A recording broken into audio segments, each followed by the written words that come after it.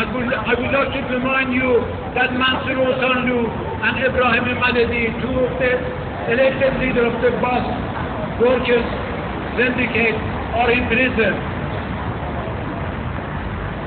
Mansur Osanlu serving five months, five years prison, and Ibrahim Madadi is serving three and a half years prison to represent the, bus worker in Tehran.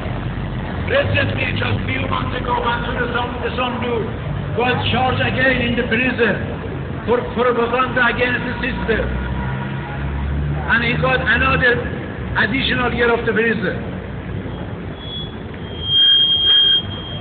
And Reza Shahabi on 12th of the June, Shahabi, as you know, is treasurer of the syndicate of the worker company in Tehran. He was arrested on 12th, 12th of June and is still in prison.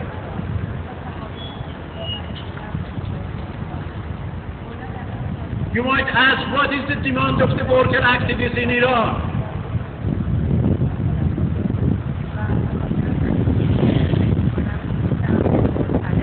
The answer is they demand their basic right. This right was formulated by the joint statement issued almost by all worker organizations in Iran in 2009 and 2010. They clearly state what is their demand. On their statement, they demanded abolition of the child worker, child worker in Iran. They demanded equal opportunity for all workers. They, they stated the right to form the independent worker, worker organization, right to strike, right to protest, right to assembly, and right to freedom of speech. They demanded full equality for women in all aspects of the social life. They demanded an increase in the minimum wages. As you know, the minimum wage in Iran is, is, in one, is one third of the poverty, official poverty line. Many workers have been condemned, condemned to this minimum wages. Which, which is, as I said, is the one third of the official poverty line.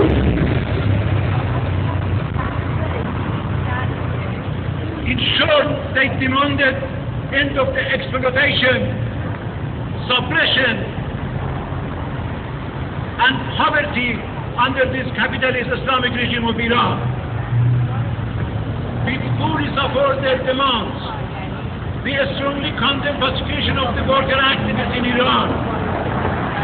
We strongly demand release of the, our political activists who are now in the prison in Iran. We want release of the all political prisoners in Iran. Worker activists has a right to organize, has a right to strike. But this suppression regime, since 32 years ago, suppressing the worker activists in Iran, suppressing women,